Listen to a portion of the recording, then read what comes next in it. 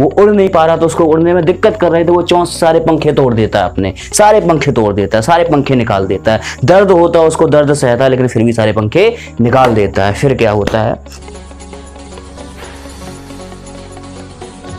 Hello दोस्तों, नमस्कार। कैसे हो आप लोग? मैं आशीष अभी स्वागत करता हूँ आपका अपने YouTube channel spirit of physics में। तो आज मैं आपके बीच में आया हूँ कोई टॉपिक लेकर नहीं आया हूँ, कोई लेक्चर लेकर नहीं आया हूँ। आज बस आपसे ऐसे ही मन किया तो सोचा क्यों ना आपसे बात की जाए। आपको एक कहानी सुनाई जाए। पढ़ते पढ़ते बोर हो गए हो गए आप लोग। और वो कहानी सुनाई जाए, जो कहानी आपका जिन, आपकी जो ज़िंदगी है उसको बदल सकती है। आप इस कहानी से कुछ सीख सकते हैं। कुछ मोटिवेशनल बातें की जाएँ। डेली पढ़ते पढ़ते एक ही चीज़ पढ़ते रहते हैं। तो आज हम आपको एक कहानी सुनाते हैं। और ये जो कहानी है, वो एक ऐसे, ऐसी कहानी है कि अगर आप जीवन में हार चुके हैं, आपको दिखता है कि जीवन में आपको कहीं कुछ नहीं दिख रहा है, आपको महसूस होता है कि आप, आपका जो जीवन है वो अंधकारमय है फ्यूचर तो आप उस अंधकार, आप याद रखना, अंधकार को मिटाने के लिए सिर्फ़ एक लॉ बहुत होती है रोशनी की. अंधकार जो है, एक लॉ से मिटाया जा सकता है, सिर्फ़ एक लॉ और आपके जीवन के अंधकार को मिटा सकती है। खैर, इधर उधर की बातें ना करते हुए शुरू करते हैं आज की कहानी। वीडियो को अंत तक देखिए, बिना स्किप किए। बहुत ही मज़ेदार वीडियो है। उम्मीद है आपको बहुत पसंद आएगा।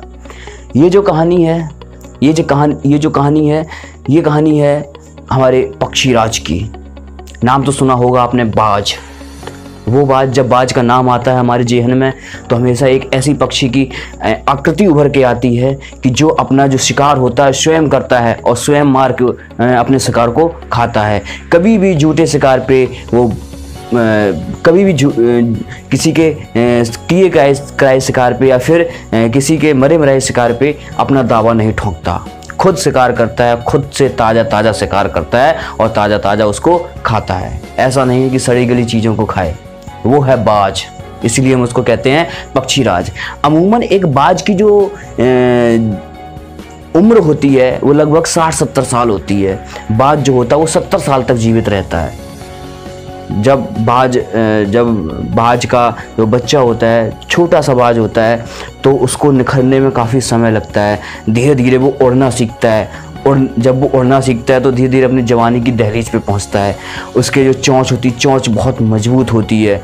उसके जो पंजे होते हैं, वो विकसित होते हैं पावरफुल होते हैं, बहुत ताकतवर होते हैं पंजे। उसके जो पंख होते हैं, विशाल होते हैं पंख, और आसमान तक उड़ता चला जाता है। बहुत ऊंचाई तक उड़ता है। जब सारे पक्षी, जब बादल होते हैं ना, बादल पानी बरसता है। सारे पक्षी क्या होते हैं? पानी बरसने के डर से अपने घोंसलों में छिपे हुए बैठे होते हैं। कि पानी बरसेगा, हम भीग जाएँगे, बाहर होंगे, क्या करेंगे, क्या नहीं करेंगे? तो सारे पक्षी डर की वजह से अपने घोंसलों में छिपके बैठ जाते बाज क्या करता है, उसको अपना अवसर समझता है और वो उड़ान भरता है बादलों से ऊपर। वो भी छिपके बैठ सकता था, लेकिन वो बैठता नहीं है। वो उड़ान भरता है, बादलों के ऊपर जाता है और बादलों के ऊपर उड़ान भरता है। नीचे बादल बस रहे होते हैं और ऊपर वो अपनी आराम से सैर कर रहा होता है। ये है बाज। और वहीं से अपनी सारी चीज़ें देखता है। वो देखता है कि क्या चल रहा है दुनिया में। कि सभी लोग छिप, छिपे हुए बैठे, कोई यहाँ बैठा है कोई वहाँ बैठा है। कहाँ पानी बरस रहा है, कहाँ नहीं बरस रहा, कहाँ पे धूप खिली है। वो उस तरफ़ जाता है, जहाँ मौसम अच्छा होता है। वो मौसम के अच्छे होने का इंतज़ार नहीं करता है, बल्कि जहाँ मौसम अच्छा होता है, वहाँ चला जाता है। वो अपने वक्त को बदलने का इंतज़ार नहीं करता है, बल्कि अपने वक्त को बदल देता है। ये है पक्षीराज बाज। ईगल, जिसको हम कहते हैं ईगल। अब होता क्या है, लेकिन हर एक इंसान के जीवन में एक बहुत शिखर पे पहुँचने के बाद एक समय ऐसा आता है जहाँ से वो नीचे आता है। सीधी बात है, अगर कहीं पे आप उभार देखोगे तो कहीं ना कहीं गड्ढा हुआ होगा।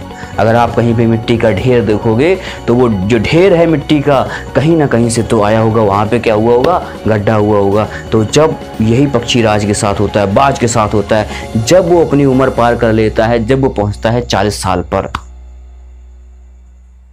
बहुत उसके जीवन में एक ऐसा क्षण आता है, जहाँ पर उसको कठोर निर्णय लेने पड़ते हैं। चालीस वर्ष तक पहुँचते पहुँचते उसके जो पंख होते हैं इतने ज़्यादा विशाल हो जाते हैं कि उसको उड़ने में दिक्कत करने लगते हैं। जो पंख होते हैं, जब वो समेटता है तो वो उसके अंदर पेट में घुस जाते हैं पंख। वो समेट नहीं पाता है।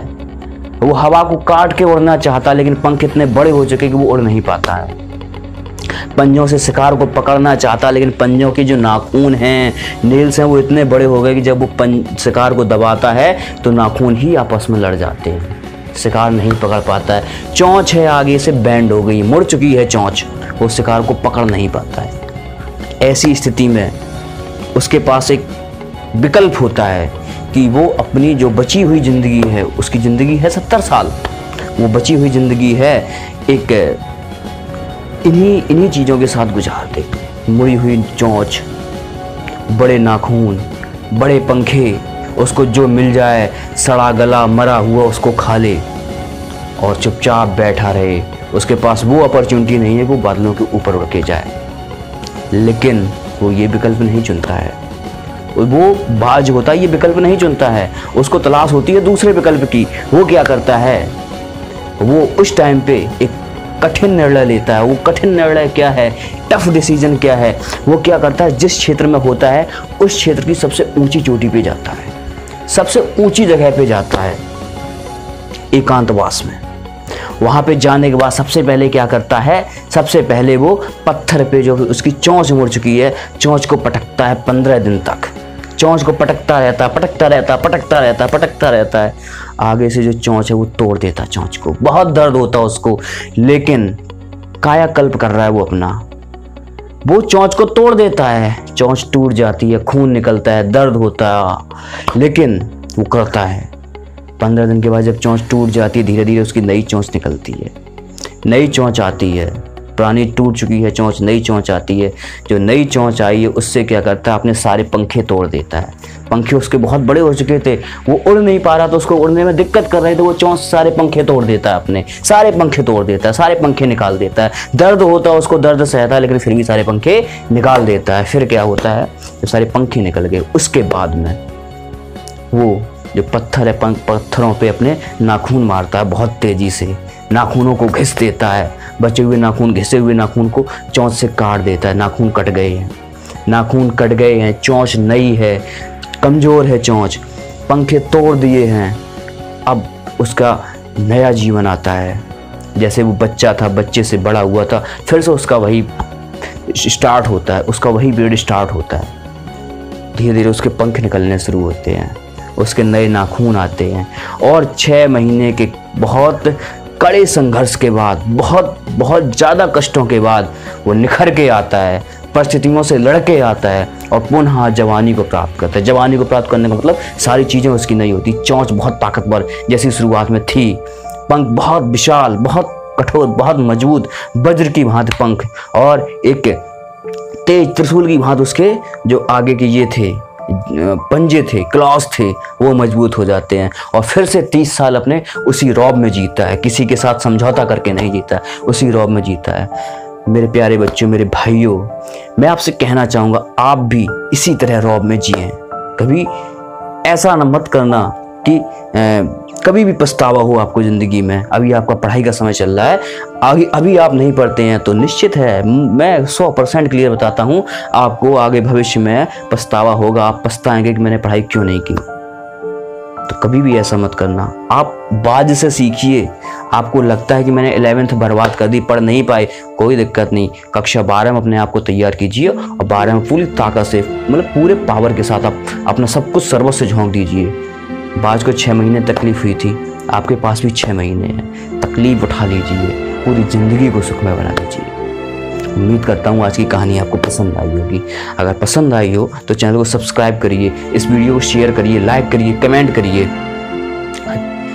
जहाँ तक पहुँचा सकते हो, वहाँ तक पहुँचाइए। तो फिर मिलते हैं अगले किसी लेक्चर की वीडियो के साथ। और आप बीच बीच में हम यूँ ही आपको कुछ ना कुछ बताते रहेंगे। राधे राधे और हाँ आज राम मंदिर का शिलान्यास हुआ है तो जय श्री राम।